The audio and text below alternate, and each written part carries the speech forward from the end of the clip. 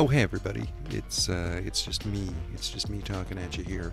I don't know why I do all that uh, silly branding stuff all the time, or say my name when I talk about my YouTube channel. I'm really just like talking to a handful of people who know me and some randoms who happen to come across this shit.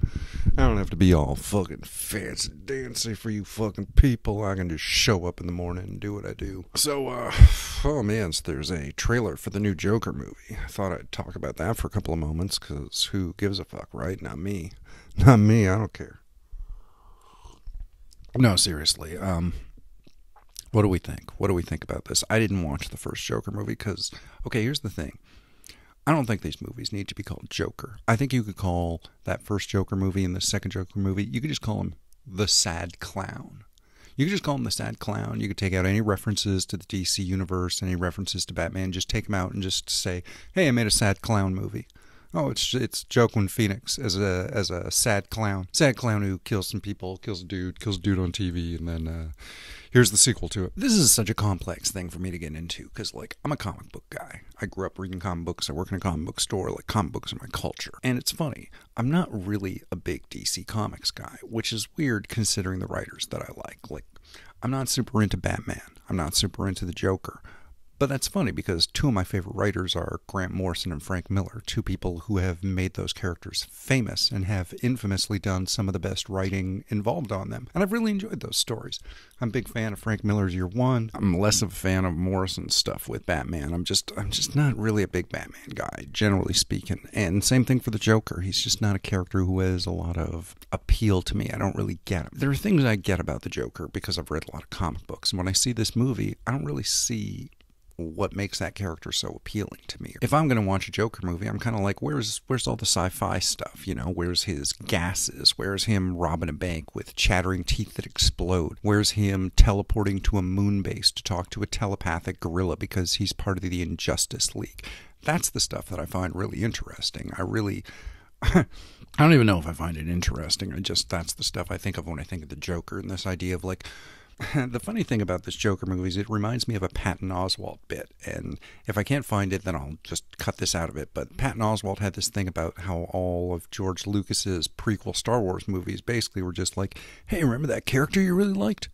Well, now he's now he's a really sad now he's a sad boy. Oh, isn't that interesting? Oh, it turns out he was a sad boy all along. Uh, do you like Darth Vader? I, I fucking love Darth Vader, dude. The the helmet and the cape with the sword. That's great, man. Is he in the first movie? Uh, yeah, in the first movie, you get to see him as a little kid. Uh, is he like a little Damien Omen kid, like evil and killing people with his mind and shit like that? No, he's just like this little kid, and then he gets taken away from his mom, and he's very sad. This is sort of the same thing of like, whoa, the Joker, you know, that maniacal, laughing, crazy, satirically violent, off the wall, surrealist crime guy. Well, well, now he's a sad guy. Oh, he's a sad guy. Oh, he's a real sad guy. And that's it. It's a story about a sad guy. It just it doesn't do anything for me. It doesn't really appeal to me. It's it's not my bag. I'm not shitting on people who like it. It's just not my kind of thing. I didn't wind up watching it.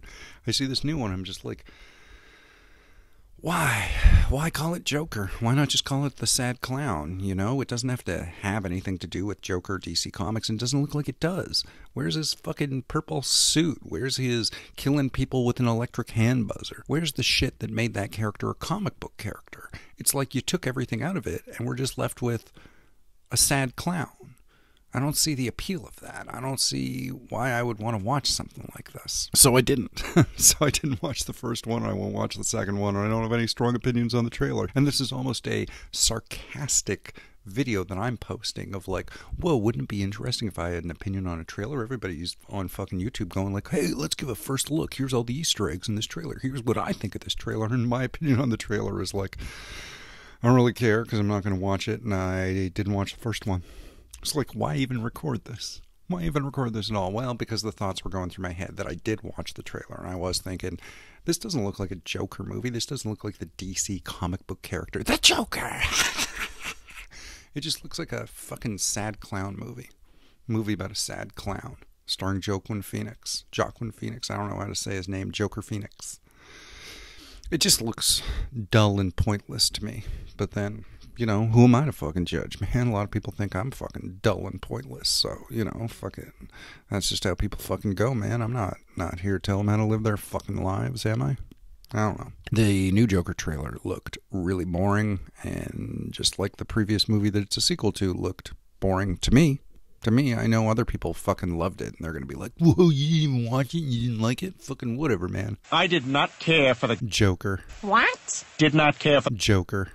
How can you even say that, didn't Dad? like didn't like it. Peter, it's so good. It- this- It's like the perfect movie. I, this is what everyone always says. Well, how how can you say you don't like it if you haven't even given it a chance? I agree with Stewie. It's not really fair. Yeah, yeah, whatever, man. Whatever. Joker. I guess that's what I have to say about that. Do I have anything more to say about that? I don't know. Fucking whatever, man. Fucking whatever. Thanks for watching this video. Fucking whatever.